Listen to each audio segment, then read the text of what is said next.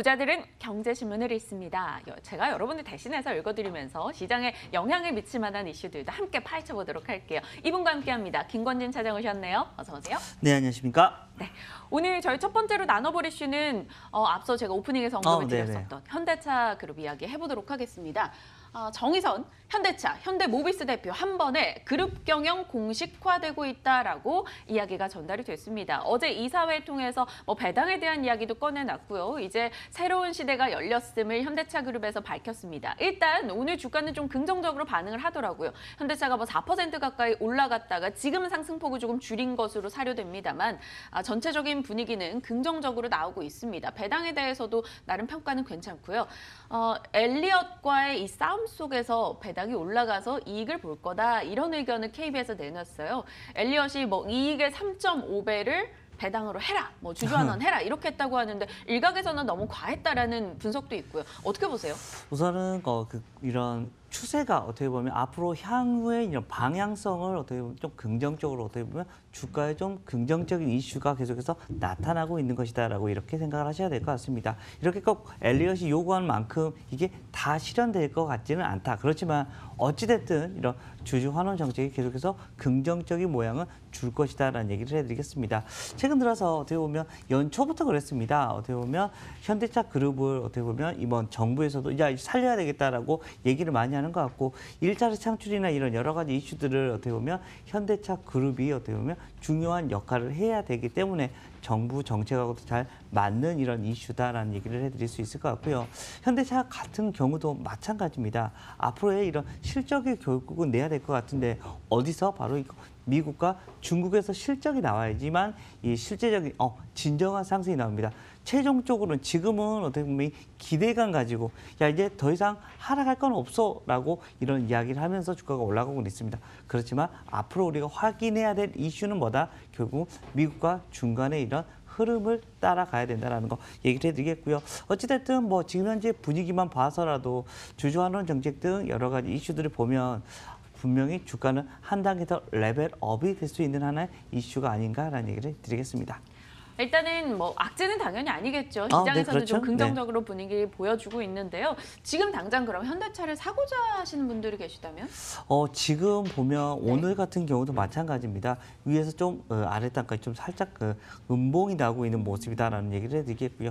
지금은 살짝 기다렸다가 사도 될 것 같다는 거. 지금 차트를 보시면 위로 많이 뚫었고 어떻게 보면 전고점의 흐름을 거의 다 와 있는 상태이기 때문에 잠깐만 잠깐만요 실적 좀 확인하고 가실게요 라는 이런 생각을 하시는 게 더 낫지 않나라는 생각을 드리겠습니다. 호재성 이슈입니다. 긍정적으로 바라보더라도 지금 당장 매수 관점보다는 조금 상황을 지켜보고 본질적인 판매 데이터가 나오는 것도 체크를 해보자 의견을 주셨어요. 현대차 이슈 살펴봤고요. 두 번째 이슈는 필라코리아 보려고요. 2월 들어서만 이 종목이 어, 네. 20% 정도 올랐더라고요. FNF 잘 간다 잘 간다 했는데 필라코리아도 잘 가고 있더라고요. 네. 요즘은 의류 업종들 분위기가 나쁘지 않은 것 같아요. 어, 한국투자증권입니다, 차장님. 네, 저희 회사에서 발간했습니다. 네. 올해 영업이익 전망을 상향 조정했습니다. 미국이나 뭐 중국 쪽에서 이익이 개선될 수 있을 것이다. 휠라코리아 자체에 대해서 목표가도 좀 넉넉하게 잡아가는 모습이 나타났는데요. 아, 목표 주가를 한 7만 원 정도 한국투자증권에서는 제시를 했습니다. 네. 오늘 한투뿐만 아니라 KB, 신한, 하나, 대신 어, 여러 증권사에서 휠라코리아에 대해서 긍정적인 투자 의견을 냈고요. 일부에서는 목표가를 올리기도 했습니다. 해외 사업이 좋았다라고 얘기하는데요. 힐라코리아 오늘 수급도 괜찮더라고요. 살까요, 저희? 어, 우선은 지금 현재 전고점이 뚫려지면 사도 된다라는 생각을 합니다. 음. 제가 제일 좋아하는 게 사실은 전고점 돌파할 때 사는 걸 그 매매를 가장 좋아한다라는 음, 얘기를 2월 해드리겠습니다. 실제로 계속해서 상승을 해주고 있고 필라 하면 어떻게 보면 저희 어린 시절에 그걸 입고 다니거나 신고 다니거나 와라는 이런 생각을 했던 기억이 많이 납니다. 그런데 그 뒤로 이 브랜드 가치가 많이 하락을 했었다가 최근 들어서 다시 한번 이 휠라에 대한 이런 얘기가 많이 돌고 있다는 거 얘기를 해드리겠습니다. 특히 우리 국내뿐만 아니라 미국과 지금 현재 중국 쪽에서의 고성장 지속이 상당히 잘 되고 있는 것 같다는 거 이야기를 해드려야 될 것 같고요. 어떻게 보면 목표가 같은 경우를 상당히 좀 열어놓으셨으면 좋겠습니다. 실제적으로 실적은 여러분들 믿으셔야 된다는 얘기를 해드릴 수가 있을 것 같고요. 그렇지만 하단은 꼭 여러분들 좀 잡아놓으셔야 될 것 같습니다. 어찌됐든 기술적으로는 주가가 많은 상승이 있었었기 때문이다라는 거 얘기를 해드리겠고요. 한 5만 4천 원대의 라인은 이런 지지 여부를 여러분들이 좀 생각해 주시면 좋을 것 같고요. 그 아래로 내려오면 자 잠깐만 잠시만 조금 쉬었다 가야 됐다라는 생각을 하셔야 될 것 같다. 그렇지만 반대로 위로 여기서 뚫어준다면 지금 현재 전고점 라인이거든요. 네. 여기만 뚫어준다면 같이 우리 앵커님과 함께 같이 한번 같이 가봐도 되지 않을까라는 얘기를 드리겠습니다. 정고점 부근 뚫고 올라간다면 그럼 같이 간다면 가격은 어디까지? 우선은 위는 그냥 열어놓으시는 게 맞습니다. 갈 때는 갈 때까지 가보자입니다. 뭐 굳이 막 이거 어, 굳이 상단을 정해놓고 야 여기까지 무조건 갈 거야 이거 아닙니다. 음. 계속해서 갈 때까지 가보자. 그러다가 이제 음봉이 나기 시작하면 그때 안녕 이런 식의 흐름을 가는 게 맞다라는 얘기를 드리겠습니다. 그럼 심플하게 5만 4천 원 지지 여부를 좀 체크하면 될 것 같아요. 그 가격 라인만 여러분 체크하시면서 휠라코리아 살펴보시길 바랍니다. 아, 다음 이슈는요. 음, 좀 좋지 않은 이슈가 들려와서 점검이 필요할 것 같더라고요. 바이로메드가 되겠습니다. 오늘 3일 연속해서 주가가 하락하고 있는데요. 아, 임상 결과 3개월 연장 소식에 주가 는 부정적이다. 하이투자증권에서 의견을 냈어요. 아, 미국 FDA 측에서 어, 9개월이던 걸 뭐 12개월로 추적 관찰 기간을 좀 늘려라라고 해서 임상 기간 결과 발표가 조금 지연됐다라는 겁니다. 석 달 정도요. 아, 단기 주가에는 부정적일 것이다라는 전망이 나오기도 했습니다. 그런데 또 반대로 생각을 해본다면요. 이게 3개월 후에 어차피 되는 거라면 지금 좀 시간을 두고 지켜보다가 주가 떨어질 때 이거 기대 갖고 있으면 지금 매수할 수 있는 기회가 되지 않을까 이렇게도 여길 수 있거든요. 그래서 낙폭도 생각보다 그리 크지 않고요. 요거 기회로 삼을까요?